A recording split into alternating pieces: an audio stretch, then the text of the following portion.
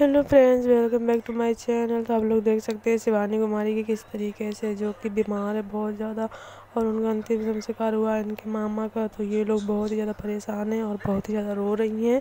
तो आप लोग इस वीडियो में ये जो कि ईसा है, वो बता रही है सबको और शिवानी की तो बोलने की हिम्मत ही नहीं है कुछ भी।